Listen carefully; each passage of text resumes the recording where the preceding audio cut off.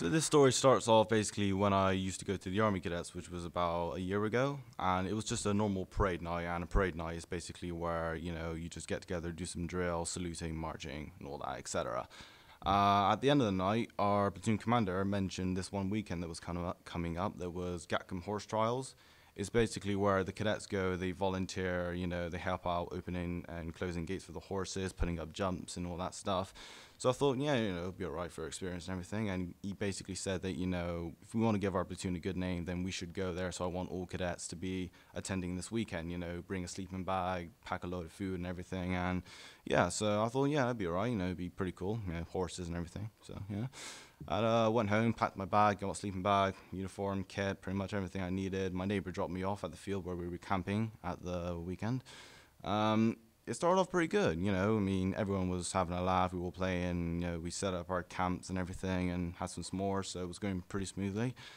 Uh, bearing in mind, this was like in the middle of December as well, so it was just beyond freezing. I mean, like frostbite cold as well. So, um, nighttime came, we started settling down, you know. I was in the tent with about three other guys, and one of them was a lance corporal. It wasn't my tent, it was his tent, so I had to like take care of it and everything. But um, yeah, basically with my sleeping bag because I had my sleeping bag set out. I hadn't used it in about two or three years, so I slightly was outgrown in it, and it was just just a bit, just a bit. but um, yeah, I couldn't fit in it at all. I couldn't zip it up or anything because it was just too small. And whenever I tried to like forcefully zip it up, the zip broke. So basically, I couldn't wrap myself with the sleeping bag or anything. So I had to sleep in my uniform because it was just too cold to be sleeping in like your pajamas and everything.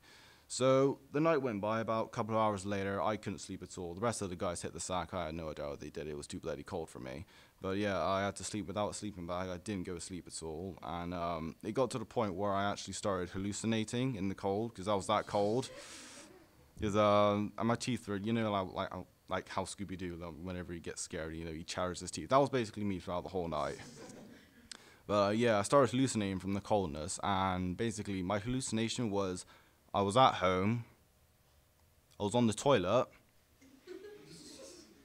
and uh, basically, that went on for about a couple of minutes. And whenever I woke up, whenever I gained consciousness, I was kind of still on the toilet, just a bit. And um, yeah, because um, when I woke up, I was squatting down. So I thought, what am I doing here? What's going on? And I looked down, and yeah, long story short, my uh, sleeping bag was completely ruined. It was all over my uniform, my combat jacket. there was a massive puddle in the middle of the tent. The rest of the guys were still sleeping. I was still processing this. I didn't know what was going on at all. And um, yeah, when I finally, when my, when my mind came together and everything, I realized, oh, what have I done? You know, I can't believe I've done this. You know, it's everywhere. It's, it was even over my hands and everything. I don't know how it got there, but it just did. But um, yeah, I took a couple of minutes cleaning it up, like, you know, sorting things out. So my sleeping bag was completely useless by then because it was just damp and wet. But um, the color sergeant who was sleeping next to us, he had his tent next to us. He heard me scuffling around, like unzipping my bag and everything. It was like five in the morning, so he was really not happy at all. You know, he came charging out of his tent. He was pretty mad at me. He came in. He was like, "What? What the bloody hell's going on here?" And he basically, my pants were still down at this point as well. So he looks down, he sees me, and he looks back up as if I've just offended his great ancestors.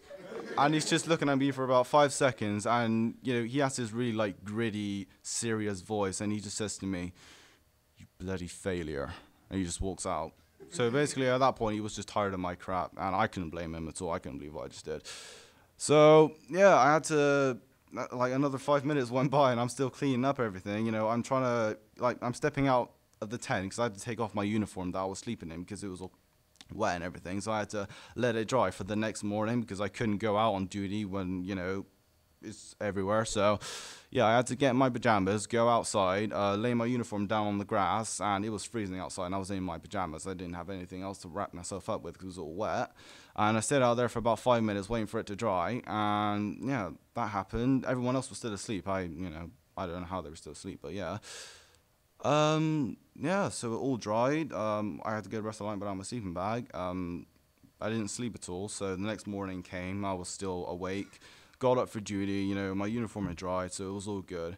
But it was raining, like raining a lot. Like the storm was just unbelievable. It was hailstones. The mud was like literally up to here on our boots and everything. Like water got inside our boots. So it was like a whole seven hours a day just in that weather. It was horrendous.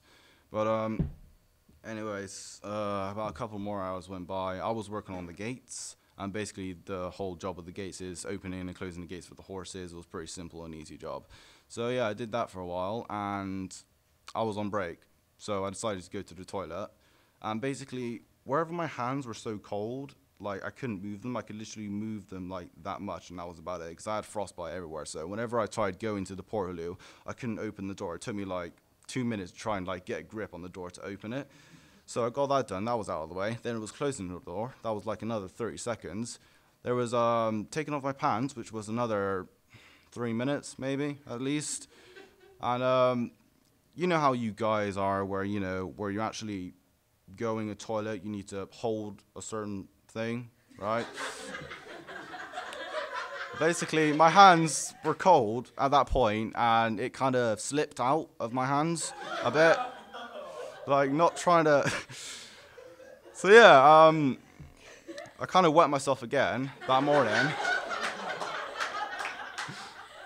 it was on my uh, combat pants, and I missed the toilet completely. And I was trying to get the toilet paper out to clean to clean up, but I just couldn't get a grip of the toilet paper, and I couldn't like do my belts up or anything. So I was kind of I was in there for another hour. And when I came out, because my break was only 15 minutes long, you know, the color sergeant he was he was pissed. He was really pissed at me. You know, um, he didn't see it this time, which was good. But yeah, he you know he came over, he was swearing, he was shouting, you know, he was dragging me by the collar. He was not happy at all. So I was back on duty on the gates again, and then the hellstorm came you know, hailstones, you know, they just fall from the sky and everything. But yeah, this was really, really heavy. It felt like BB pellets hitting the back of your ears. So me and a couple of other cadets, we had to take cover behind this tractor, and we were there for about seven minutes while this massive hailstorm was just constantly just like raining down upon us. And I had this horrible thought in my head, this realization that I've just left, because I was the last one to leave the tent, and I left the door open. And basically, in, in like the worst thing is, it's not my tent; it's the Lance Corporal's tent as well. I was just staying in there, and all of their equipment were in there. You know, their phones, their uniforms, their clothes, their bags, their sleeping bags, everything was in there. So I had to sprint back to the tent, just praying, just praying that you know it was facing in the other direction, and none of it went in. When I got there, there was a puddle about this big, like filling the entire tent, and I I could see everyone's iPads and phones just floating above it as well.